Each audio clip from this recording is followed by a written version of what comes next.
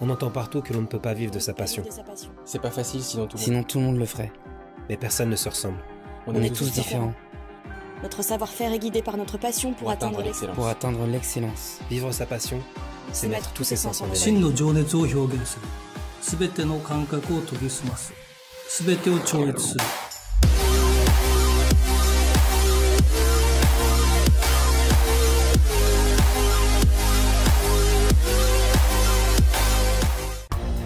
Bonjour à tous, on se retrouve sur l'île de Man pour une nouvelle émission consacrée au Tourist Trophy, cette course incroyable. Je suis près du leaderboard avec les temps des meilleurs pilotes.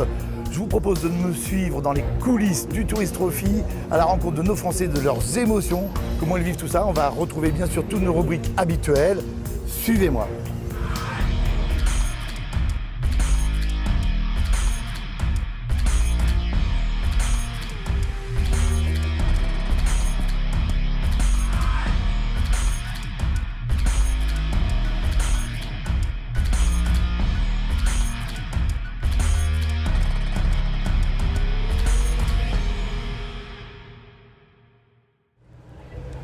Sur la promenade de Douglas.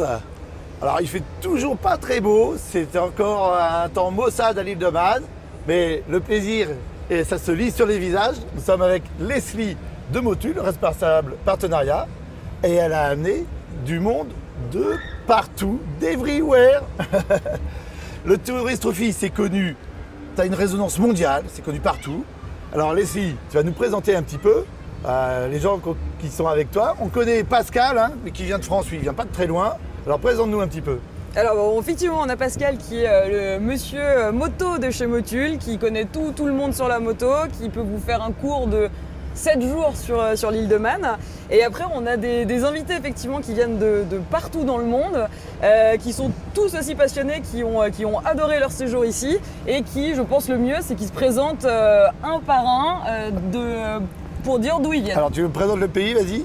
Alors, on a Anton qui vient de Russie.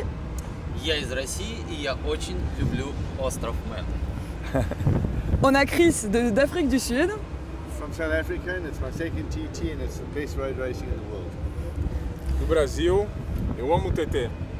Donc Bruno du Brésil. on a Bader du Koweït. I'm from Kuwait, and really enjoy my time here. Et on a Koksung de Corée. I am from South Korea. voilà, le Tourist Trophy, on vient de partout du monde pour le voir. Alors là, c'est vrai que Motul organise des voyages parce que ils aiment le Tourist Trophy et ils le font connaître. Et ben voilà, on, voit ça plaît en Afrique du Sud. On sent une vraie passion hein, pour le Tourist Trophy puisqu'ils sont euh, déjà venus. Euh, on leur pose des petites questions encore. hein. Ah bah on peut avec plaisir. hein. So, um, what do you think of uh, road racing? Is it crazy or is it um, fantastic? I think it's a little bit of both. I think it's crazy, but it's fantastic. And it takes a very special kind of person to be able to do it really well. And I followed most racing all my life, but road racing is something that's really different. It's really special. Have you ever been there before? No, first time. First time. Those guys are defying all the laws of physics that we know. So fantastic to be here, to to be present, uh, to witness what they do. It's amazing. Bon bah, on voit que la- le Tourist Trophy plaît à tout le monde, de tous les pays, de tous les continents. Moi, je vous invite à me suivre. On retourne dans le paddock, continuer à explorer le Tourist Trophy en profondeur.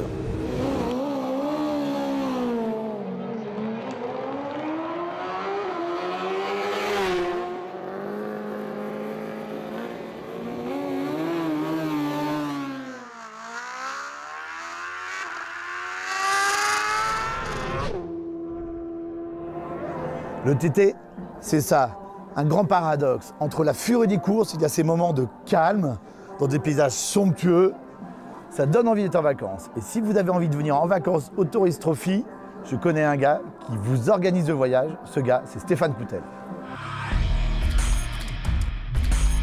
Alors, on est le dernier jour de course. On vient de retrouver Stéphane Coutel, tour opérateur maintenant, Stéphane. hein. Bah, tour opérateur, oui, on, on organise des, des voyages. euh, bah là, c'est la première fois qu'on vient sur le Tourist Trophy. Ouais. Donc, euh, on reconduit l'opération l'année prochaine, bien sûr. Et puis, euh, et puis les Grands Prix depuis, depuis 2000, euh, 2015. Donc, Alors, Steph, voilà quoi. Steph Coutel, pour ceux qui ne connaissent pas, hein, quand même, ancien pilote, pilote d'endurance, pilote au Tourist Trophy, et puis ancien euh, essayeur à Motojournal. Hein. Ouais, On a 20 fait ensemble 20 pas mal. hein. même, Hein, Une 20 ans vingtaine quand même. d'années quand même, hein, c'est pas mal. Hein. Donc là maintenant, ça y est, tu t'es recyclé pour emmener euh, les, les motards sur les Grands Prix, toute l'année, sur tous les Grands Prix. Et là, au Trophy, tu es resté combien de temps ici?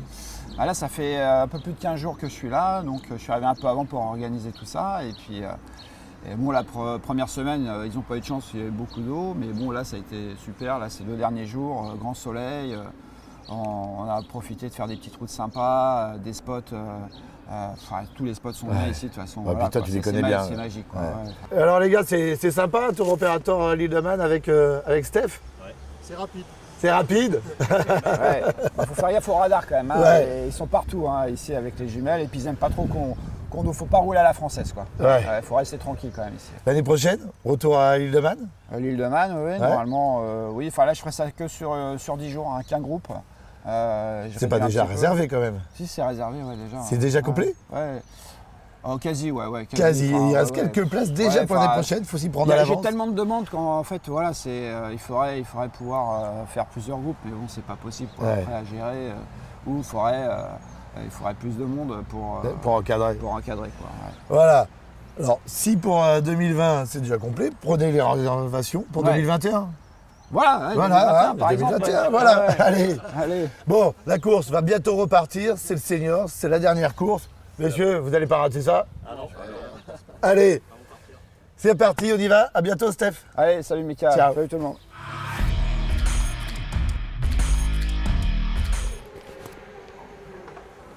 On est dans le stand Norton, dans le paddock, avec Stuart Garner, le PDG de Norton, qui a relancé la marque en 2008. Hello Hey, hi. Good to see you. Yes. Good to see you. Good to, to see you also. So, we are here with uh, your bike. You Mm, have a big team here. Yep. Yeah. These bikes are lightweight bike. Yes. Yes? Yeah, this is the, the new Norton Superlight with a 650cc engine. Yes. And it's a parallel twin. Okay. And we make the engine from our big V4 and just use two of the cylinders Okay. to make the parallel twin at 650. Le V4, c'est la senior, la, la moto de Superbike que pilote Mike Guinness. Ils l'ont coupé à moitié pour faire le lightweight. So it's half of the Exactly. of the Exactly. Mike Guinness bike. Yes. And you are on the bike Yeah. top riders. Yes, top riders. So, So- we have uh, John McGuinness. Here, the bike Yeah. of John McGuinness, We have um, Davey Todd. Jeff Todd. And then we have Peter Hickman. So, les trois pilotes qu'il vient de citer, McGuinness, Monsieur TT, 23 victoires. Dave Todd, le nouvel espoir. His Yeah. nickname The is New Kid. New Kid. Yes. And Peter Hickman, c'est simplement l'homme le plus rapide de l'île de Man. so it's a great, great team. Strong team. Yes, strong, Strong team. team. What's your objective here? Win? You win, of course. yes. Yeah, we. But it's our first year Yeah. with a new bike. With a lightweight. Yes. So it's Norton make the engine, make the chassis. So everything is, is British, made back at the factory. So we we want to win, but we need to take our time Okay. with a with a new bike to develop over the next one two years. But it's going very well so far, Okay. and um, we have some good times, and we're we're going faster, faster, Faster. faster. And will you produce in uh, what the model for the lightweight Yes, we've already launched the lightweight, Yeah. and it's called a Norton Superlight.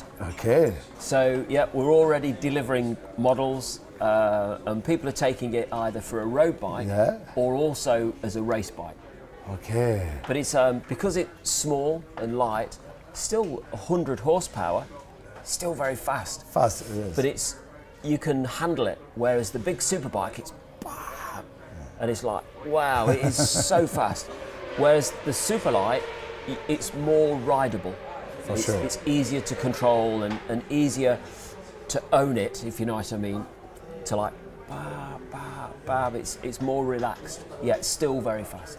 You are involved only on tourist trophy or all the road Uh, race? with just TT. Just TT. Yes. And in uh, August you have a special E- event. Exactly. We so uh, because we're all a bit crazy, we build our own racetrack around the castle. s- at the end of August, we have an event where we race around the castle. Okay. Um, and It's you can crazy. bring your own bike and have a go. Brilliant. Is French people could come with. uh, 100%. Very Yes? welcome. Very welcome. So voilà. But, but we will beat you.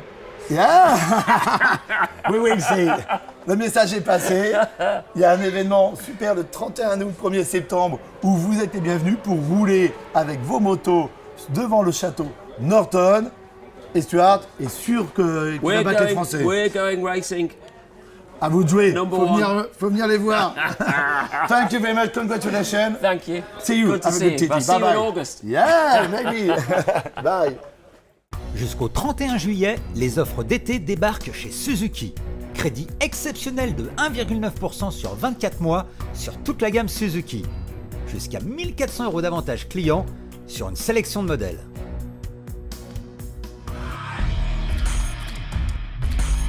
Ah, veux. Ça y est, les Français se préparent. Il y a Morgane de Vignon, mais il a doit aller pisser. Il a très envie d'aller aux toilettes. Et là, il y a Timothée Mono qui va faire lui aussi sa première course en 1000. Hein, Tim Ouais, ça va, ça va. Là, c'est une nouveauté pour toi, hein, la 1000. Oui, oui, oui, j'ai découvert la 1000 euh, la semaine dernière, j'ai fait un tour d'essai. Ah ouais Et du coup, ils m'ont. J'étais pas qualifié parce que j'ai fait qu'un seul tour, il faut en faire 4. Et ils m'ont repêché au dernier moment, donc, euh, voilà. Là, la course, ça va être euh, ouais, une première. Je pense pas faire finir la course parce qu'on a un petit réservoir, on a le réservoir d'origine et pour ici, il faut un gros réservoir qui fait 24 litres. Et On n'a va pas pu- faire deux tours avec le gros réservoir. Là, tu vas pouvoir faire qu'un tour à chaque fois. Voilà, et on n'a pas pu le valider pendant les essais puisque euh, les séances d'essais ont été écourtées énormément. Donc, tu vas ravitailler souvent et tu vas pas pouvoir faire les 7 tours. C'est pas grave, c'est une découverte. Découverte. prends- Je prends ça comme une, une bonne, une bonne séance d'essai. Voilà, grosse séance d'essai. Bah écoute, amuse-toi bien, découvre la ville, fais-toi plaisir. Le MIG qui est une ex-MIG. Et on regarde que MIG il est bien présent partout parce que Morgane Gauvignon, il a écrit MIG aussi avec son nom. Allez, bonne bourre. Merci. Bien. Ciao.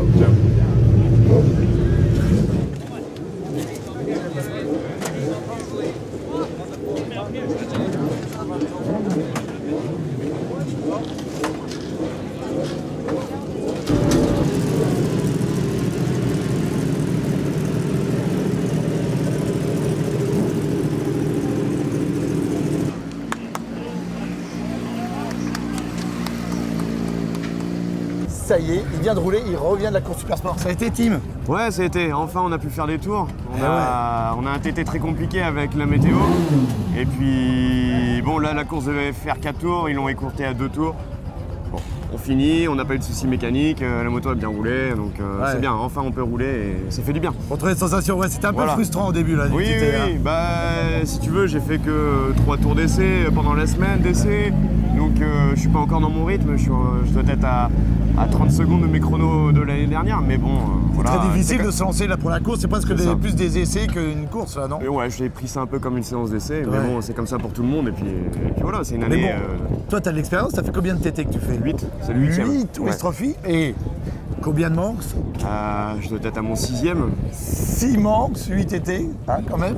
Tu commences à être euh, parmi les plus anciens français à rouler au TT. Hein, c'est ça, c'est ça, c'est ça. Un petit vieux à 32 ans. Ça y est, le petit vieux de 32 ans. Bon, la R6 elle a bien roulé. Ouais, la moto a bien Ouais, fonctionné. t'as pris du plaisir. Voilà, l'équipe a, a fait son, a fait son job euh, durant la semaine et Ouais. durant l'hiver, donc euh, c'est bon. Ah ouais, on voit la structure, t'es bien pro, euh, ça ouais, c'est bien. ouais, avec des petits moyens, mais on essaye de faire le- les choses proprement et efficacement, donc euh, voilà, ça paye, ça paye. Ça paye.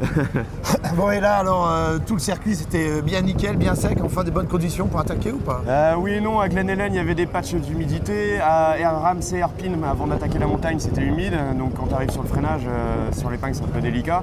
Et on a eu un drapeau jaune, il y a eu une chute pendant la course. Là. Il y a eu un drapeau jaune à- euh, juste après Crosby. Et euh, donc du coup, on était ralenti, mais voilà, on roule quand même. Tu prends combien avec la R6 dans la ligne droite de Fulby là? Euh, ouais, je dois être à 260, quelque chose comme ça, chrono. Donc euh, oui, ça va vite. hein. 260. Avec une 600. Avec des, une 600 qui Ouais. décolle sur les bosses et tout. C'est ça, c'est ça. Et là je crois que tu bientôt tu vas prendre encore plus vite parce Ouais. que tu repars pour les super stocks là. Voilà, voilà, je vais prendre la, la 1000 la ZX10R. La Kawa. ZX10R Kawa. Et Alors la puis- ZX10R Kawa, pour l'anecdote, Ouais. c'est une ancienne de Mick qu'on avait vue pas en pièces mais complètement démontée chez toi. hein. Oui, bah c'était l'hiver. hein. L'hiver, on travaille sur les motos, on refait les moteurs, les suspensions et, Et- aujourd'hui, elle est prête à rouler. Elle est toute belle. Allez, on te laisse parce que Ouais. ça va bientôt repartir, ça, Ça enchaîne aujourd'hui. Merci. Allez, bonne Salut. course. Ciao. Ça y est, il fait nuit sur les paddocks. On est avec la bûche, le newcomer qu'on retrouve partout dans l'émission. Ouais, c'est ça. Il est venu voir les copains. Morgane Govigno et Nicolas Poté. Alors là, on a des spécialistes du Manx. Et la bûche, lui, il n'a pas eu besoin de passer au Manx pour venir là. t'es venu direct. Mais tu avais besoin de conseils quand même. hein. Oui, bah j'avais besoin de conseils et je leur en remercie d'ailleurs, surtout Morgane. Voilà. On se connaît depuis deux semaines maintenant, on se connaissait pas du tout. Ah ouais. Et c'est vrai que j'ai beaucoup apprécié ce qu'il a fait pour moi. C'est lui qui est venu me voir pour me porter conseil. Voilà. Alors, quel conseil t'as donné? Quel conseil on donne à un newcomer qui arrive au Et ben en fait, euh, t'essayes à fond, ça doit passer. Ça, c'est bon conseil. Non, c'est pas celui-là, justement, je crois. Non, c'est pas celui-là. Ce- C'est des, enfin, c'est des conseils tout simples. En fait, c'est pas des conseils pour aller vite, c'est des conseils pour euh, être en sécurité et puis se sentir bien. En fait, on est beaucoup à attendre de rouler ici. Et on est tout excité généralement quand on y va parce que c'est un rêve, parce que, parce que voilà, c'est un gros truc à faire. Et puis quand on vient là, ben, c'est commence à être un peu, un peu plus compliqué. Il y a, on a une certaine pression.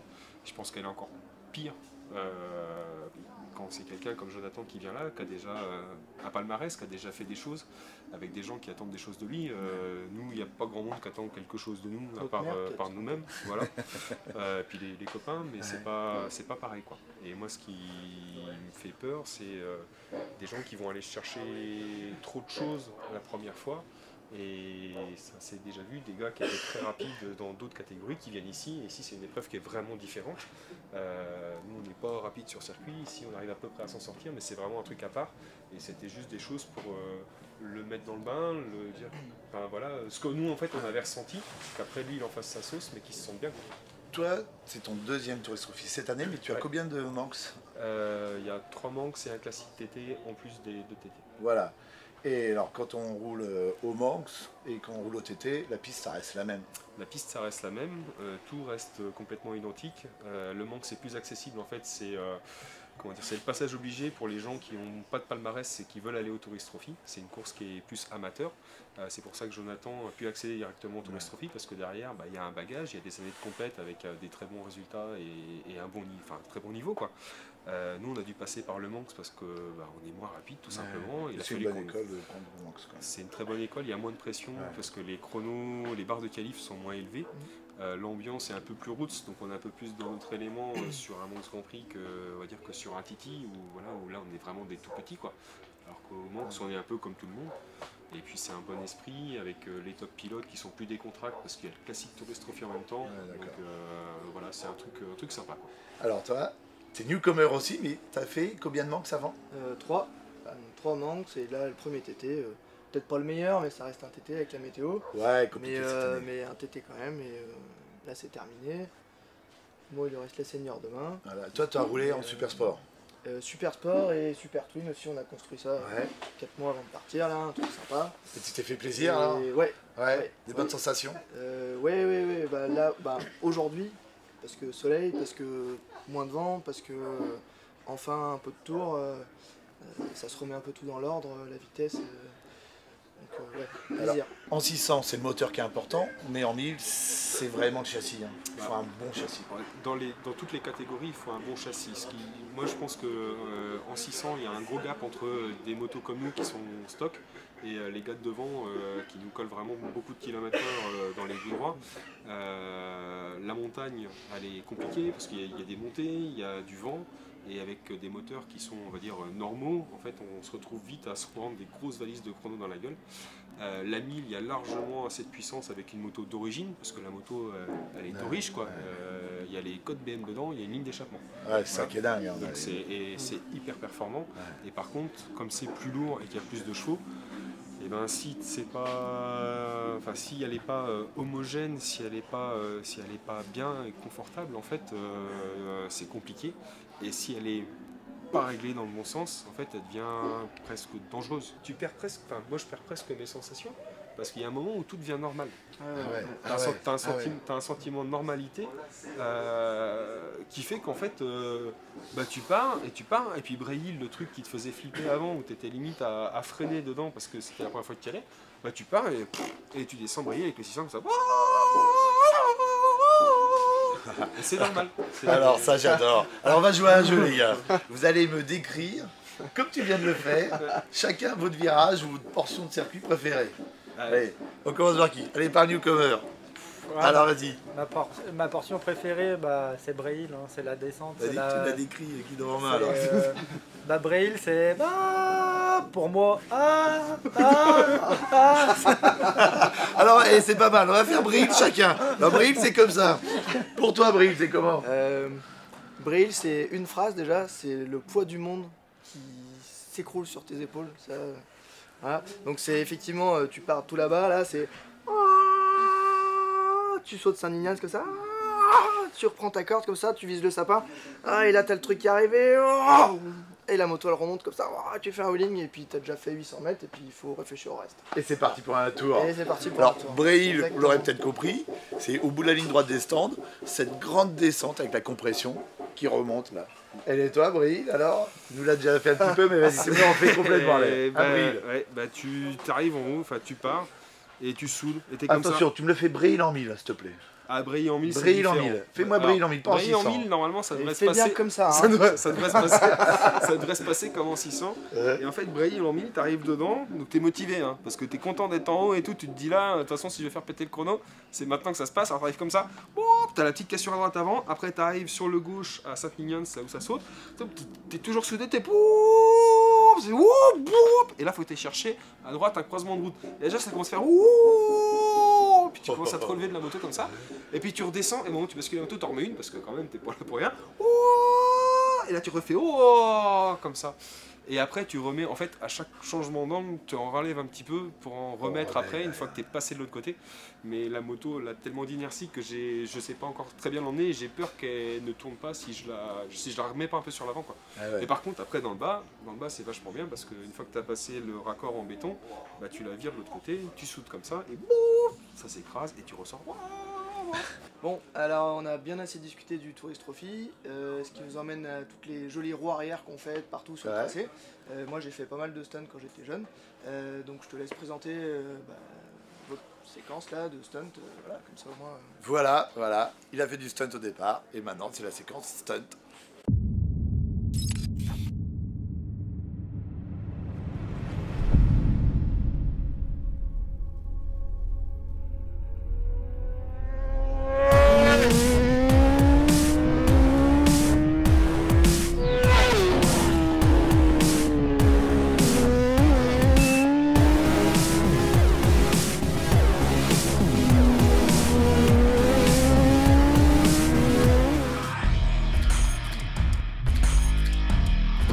Mythique, euh, c'est le premier qui me vient en tête, forcément Nikaya. Parce que c'était le spot où, euh, où tout le monde se regroupait? Et ouais, c'est vrai que le Nikaya, c'est le spot mythique, quoi, la légende, on va dire. Voilà, on pouvait rouler librement, les flics qui nous embêtaient pas. Qui a pas rêvé ou qui a pas été, euh, qui a traversé la France en plein été sans une thune à dormir dans le camion pour aller au Nikai, euh, enfin tout le monde. C'est mythique, euh, c'est euh, une super ambiance, euh, des gars géniaux. C'est un esprit d'équipe et c'est un esprit euh, de pote en fait le Nikai. Et on s'est retrouvé des soirées à commander euh, 50 pizzas et à bouffer par terre au Nikaya. Il y a eu tellement de, bons moments là-bas, toutes ces vidéos qui sont sorties de là-bas, le spot, c'est même si t'as pas été, tu sais comment il est fait quoi. J'ai roulé une fois au Nikaya et enfin, je me disais je vais aller sur le spot mythique euh, qu'on voit euh, sur toutes les vidéos. Euh, Bon là du coup c'était carrément un pur kiff. hein. Dans les meilleures sessions que j'ai faites, c'était là-bas. On passait des journées à s'amuser, à rouler, à déconner. à- Dans les vacances de stunter, c'était le top. On y a laissé un peu de peau? Et des deux ans. Deux la dosée. C'était cool les, vacances en Ikaya, pendant 10-15 jours on se retrouvait tous là-bas euh, sur le spot ou en dehors, on, était, on, vivait vraiment à une vingtaine, de, presque H24 ensemble. Je pense que la capitale vraiment du stunt au départ était à Nice en fait. Tout partait de là. Max était ici. C'est un lieu déjà qui est emblématique parce qu'il y a énormément de gens qui sont venus rouler au Nikaya. Il y a des gens de, de tous horizons et de toutes euh, nationalités qui ont débarqué au Nikaya et qui ont roulé au Nikaya. L'été, avec euh, bah, les- la période avec Drew Stone. Ouais, et le lien des premiers groupes euh, français aussi a émergé vraiment de la nouvelle vague de stunt qui, dont on a fait partie. Il y avait les RSR, Roue de ouf.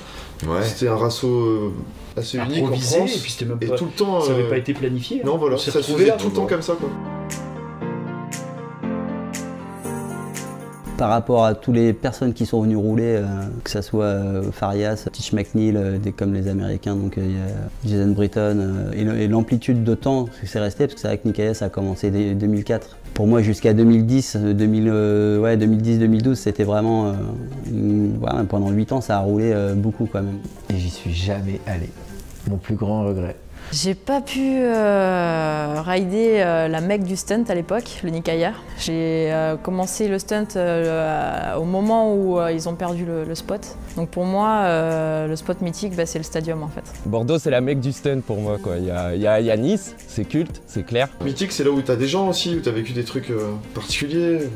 Malheureusement, là, c'est la fin, c'est c'est un peu sur le déclin. Les Nikaya, ils, ils cassent tout pour le, le tram. Ça manque un peu les, les trucs comme ça, mais, euh, mais c'est les problèmes de spot quoi. Maintenant, euh, on a du mal à avoir des spots où on peut faire du bruit euh, sans avoir de galère. Donc, euh, Il s'est passé tellement de choses au Nikaya que dans l'esprit des stunters, je pense que le Nikaya, ça restera toujours quelque chose. Et c'est pour ça que le nom de la page qu'on avait créée, c'était Nikaya Stunt et Family. Après, ça veut tout dire.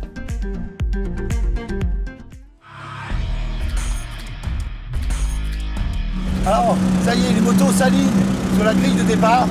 On est avec Karine, la patronne, la patronne de moto et motard. hein. C'est comme ça que t'appelles les lecteurs. hein. Ah Bah oui, oui, oui. Alors- là, là, je suis en train de vivre un rêve, t'imagines même pas. Premier Titi. C'est dingue Oh là là. Tu sais, tu t'y attends. Tu t'y attends dans les frissons, tu vois aller vite, tu vas... Mais quand t'es au bord de la piste, puis quand tu vois. La première fois que t'as vu passer une moto, alors Je me suis filmé. C'est vrai deux sortent. C'est euh, C'est dingue, hein. Tu le sais qu'ils vont vite, mais là, tu dis non, c'est- pas possible. Ouais. Écoute, c'est normal que tu aies été comme ça parce que je me rappelle de Valentino Rossi quand il vient là. Allez, oui, Il pareil. était venu là, il était à Bréil, dans une petite maison avec Agostini. Et la première moto qu'il a vu passer, j'étais juste derrière. Et Valentino Rossi s'est relevé, il a secoué Ah la ouais, tête, ouais, il a regardé Ago avec des grands yeux, il ne comprenait pas. Ah ouais. Toi, tu connais bien la vitesse aussi, Pourtant, tu connais les ouais, circuits, tu roules en compétition. Mais Même là, du rallye routier, tu vois, Ouais. j'en ai fait, mais, mais là, c'est démesuré. Alors, je sais pourquoi c'est exceptionnel le Titi, et que ces pilotes-là sont considérés comme des, des pilotes un peu inhumains, quoi, exceptionnels. et en euh, plus, toi, tu as une émotion particulière parce qu'il y a des copains, des ah Français ouais, qui alors roulent. ce qui est marrant, j'ai bah, effectivement des copains de rallye routier, des Ouais. Français qui sont venus du Frenchy, ils sont là. Et il y a un des, frères, des, des Frenchies, Nicolas Poté, c'est euh, une moto qu'il m'a acheté. Carrément. Une ZX6R qu'il m'avait acheté à l'époque. Donc une ancienne de mes motos roule au Titi. Ah, c'est génial, ça. Exceptionnel. Très bien, donc c'est- marrant de les voir là, mais. C'est marrant, ça fait mais peur, non ouais, voilà, c'est. euh, C'est un sentiment partagé, on sait qu'ils vont se faire plaisir, C'est ça. on est presque à leur mais place et en même temps on se de dit- les voir arriver quand même, tu Ah, vois. c'est ça, la plus grande récompense au Titi, c'est de Ouais. voir Mais revenir ils sont tellement heureux d'être là, ils s'investissent tellement pour tout ça que moi je suis fan et je les respecte beaucoup pour ça vraiment. Tu reviendras Ah bah oui, mais là, je- sûr. attends, je continue mon rêve, là regarde, on est en pré-gris là, waouh Bah écoute, va voir, Ni- On va va voir voir les Français, et on va voir Nico Morgane. qui est avec Morgane, Ouais, qui ouais. l'accompagne sur la grille. Et, Et puis euh, on se retrouve on tout à l'heure. hein. Ciao Ciao La rubrique Web Atelier vous est présentée par La Bécannerie, tout l'univers du deux roues. La Bécannerie, c'est du choix avec plus de 500 marques et plus de 200 000 références. Une livraison rapide grâce à notre logistique performante. Un service client composé de spécialistes de roues et un SAV réactif. La Bécannerie, toutes les pièces, équipements et accessoires pour votre deux roues.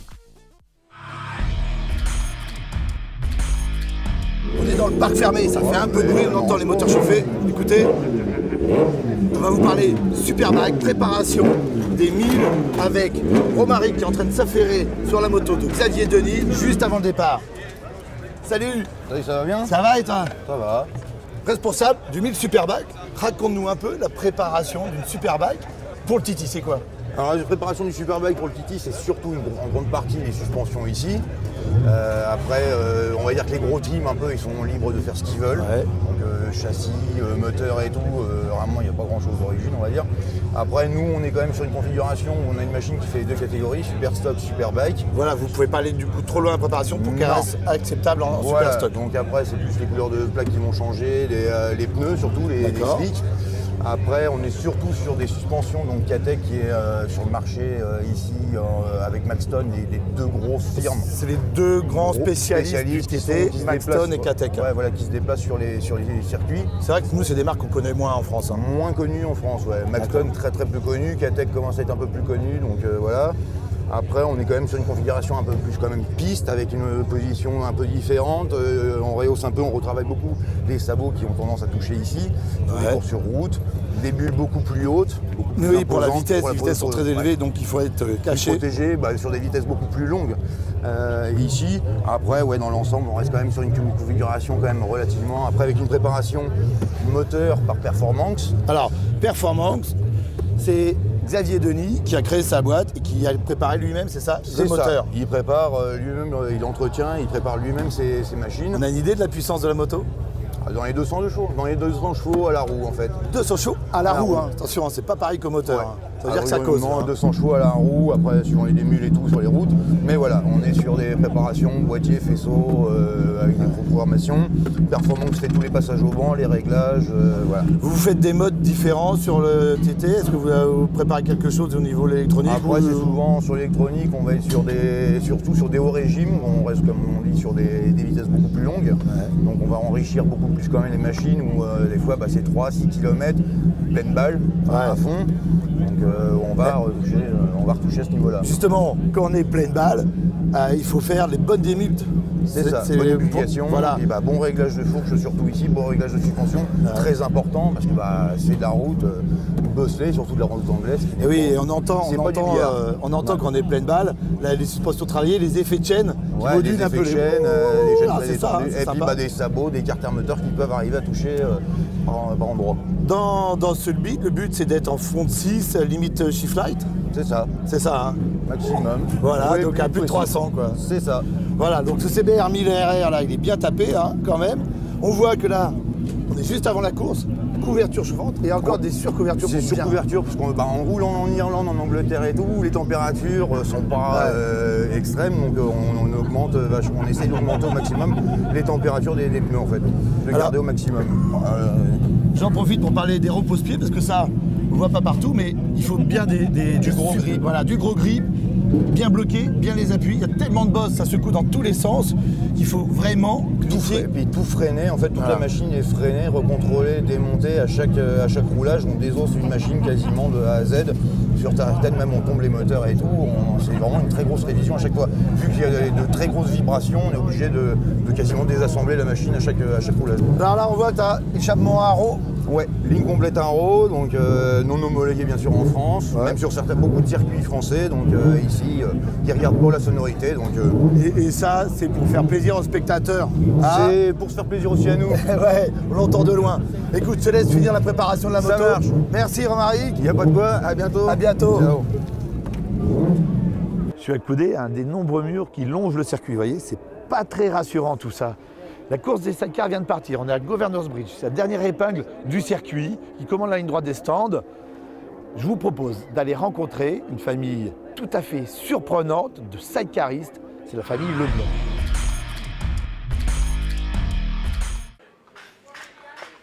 On est chez les Leblond, une famille de sidecaristes incroyable. Présentation. Papa, c'est François. Sylvie, la maman, et Estelle, qui vient de finir la course des sidecars en sixième position. Félicitations. Merci beaucoup. Alors ça fait du bien cette sixième place, hein. Oui. Parce que le Titi a été compliqué cette année. hein. Ouais, oui, oui, particulièrement cette année. Il y a la météo qui a été euh, très très capricieuse et on a eu euh, deux séances d'essai avant la première course. Pour notre part, à Franck et moi, euh, on n'a pas terminé notre première course. Donc, euh, voilà. En plus, un moteur cassé. Voilà, Le et- moteur qui marche fort, il casse. C'est ça, et donc la deuxième course elle fait vraiment du bien, même qu'elle ait été un petit peu courte, même qu'on l'ait attendue longtemps, mais c'est pas grave. Alors, attention, hein, sixième avec le moteur qui marche pas. hein. Il y a 10 chevaux de moins. Ouais. Du coup, comme il n'y avait pas de chevaux, elle, elle pouvait plus couper, elle est passée sur l'élan et ça, ça a bien marché. Oui, voilà. C'est ton meilleur résultat. Euh, en résultat en place, oui, en vitesse, non par contre. Voilà, une meilleure place. Je l'ai connue, 2003, elle avait 12 ans, elle accompagnait papa et maman qui roulaient ensemble. François roule toujours avec Marlène, sa passagère. Sylvie a laissé sa place dans le panier. Mais Sylvie, ça a été la première française à avoir un trophée exceptionnel, le trophée Le trophée Suzanne Jeunesse. Voilà, qui a récompensé euh, les me- meilleures, les féminines les plus méritantes, les femmes les plus méritantes au Titi. Tu l'as eu deux fois Je l'ai eu deux fois, oui. et tu l'as eu deux fois aussi. deux fois aussi. Voilà, alors, famille euh, d'exception. François, ça a été toi ton Titi là? Ouais, ça a été bah, manque de roulage euh, comme tout le monde évidemment, dû au temps, mais euh, on a roulé quoi? On a eu deux séries de CIDC, bon, deux courses, on n'a pas été embêté avec Marlène, on a tout fait, mais malgré tout on a fait que 9 tours en tout. Ouais, c'est pas beaucoup. Donc ça manquait, ça manquait de travail, mais bon on l'a fait bien, on s'est régalé.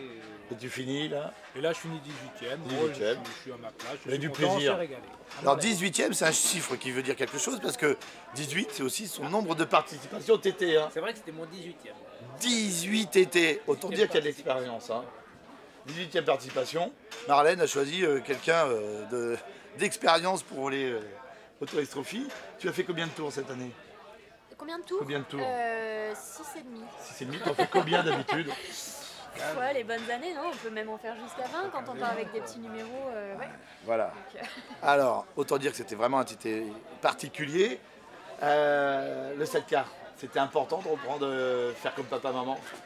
euh, faire comme non, après ça s'est présenté comme ça et c'est très bien comme ça. T'avais pas trop le choix, t'as grandi avec. hein, Ouais, c'est le choix, je l'ai toujours eu, ils m'ont jamais forcé, mais c'était quelque part euh, normal de. Ouais, Je me souviens de toi à 12 ans déjà, il y avait de l'envie. Hein. ouais. T'attendais. Hein. Année après année, on la voyait qui trépignait, prendre le guidon et puis alors. euh, J'attendais de pouvoir toucher le guidon et les pédales en même temps. Et puis, voilà, il a fallu attendre un petit moment. Puis alors en championnat de France, tout ça, ça roule, ça roule vite. euh, Il y, a- il y a du succès. Hein. C'est cool. Il y a des bons profs Bon, derrière. et, le, et le Tourist Trophy, toi Sylvie, ça te manque pas trop? Les premières années, oui, c'était très compliqué de me tout rouler ici, mais bon, il faut se faire raison. hein. Ouais. J'ai plus le physique pour le faire, donc euh, Mais toi, t'es pas prêt d'arrêter Tous les ans, elle dit qu'il arrête quand même. Ah Les- les- euh, je dis aux Anglais, c'est le- on- c'est un dernier de plus. Voilà, un dernier One de last- plus. One last more. Au Tourist Trophy, on dit toujours que le plus important pour un pilote, c'est de prendre le ferry de retour. Le ferry, c'est demain, ils ont du boulot, faut tout ranger. Et en plus, Estelle, le week-end prochain, elle roule à Imatra en IRC. Gaz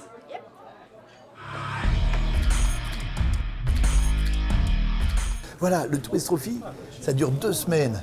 Et pendant ces deux semaines, une semaine d'essai, une semaine de course, dix courses au programme, on en prend plein les yeux.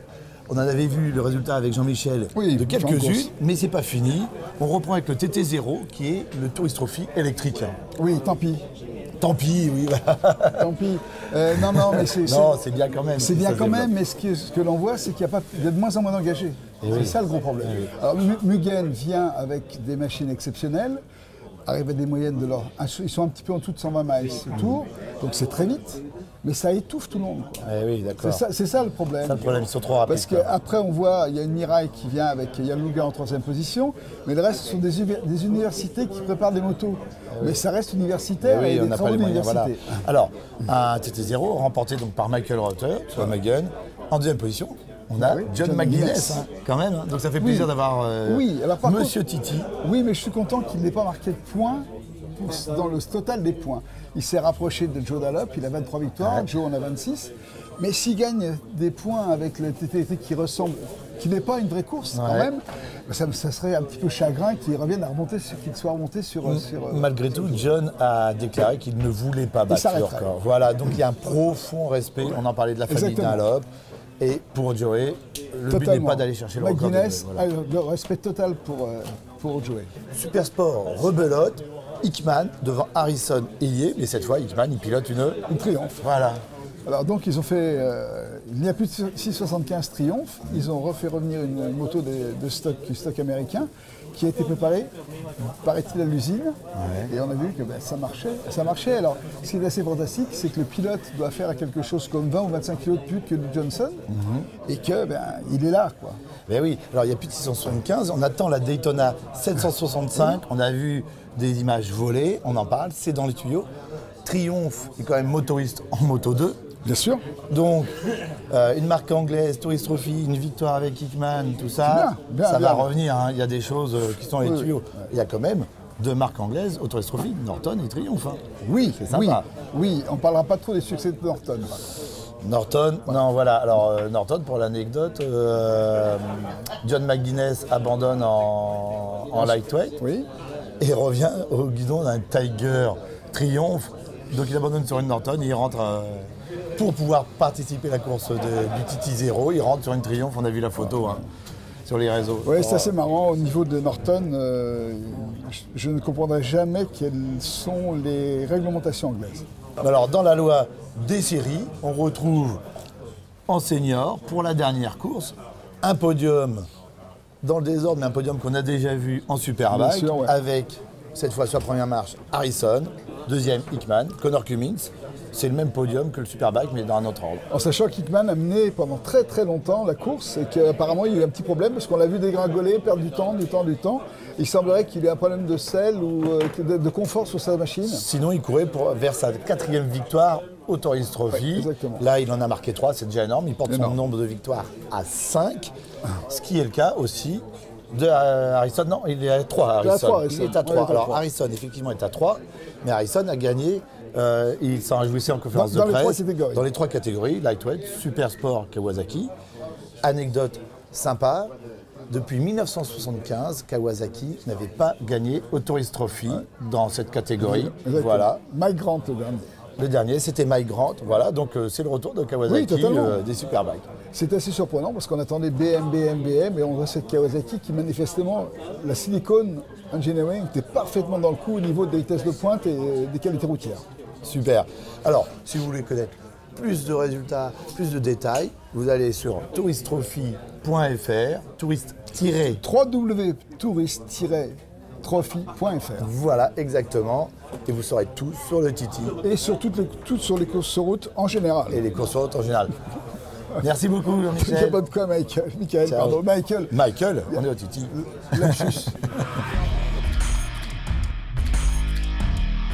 Nous voilà avec Anne, une vraie passionnée du Trophy, une vraie journaliste, puisque 30 ans à l'équipe, c'est ça, Anne hein? 30 ans, pas moins, avec euh, beaucoup de touristes trophies euh, pendant mes vacances. Voilà, parce qu'elle était un peu spécialisée dans la Formule 1, mais elle est tombée Je amoureuse. venir au Titi. Voilà, du Tourist Trophy. hein. Et donc là, tu as, décidé maintenant de filer un coup de main à Jean-Michel. Ben oui, puisque j'ai un petit peu de temps maintenant, je, je fais ce que je peux, hein, mais euh, franchement, son site est tellement bien qu'on a Vous du êtes- mal à l'améliorer. C'est c'est gentil. hein.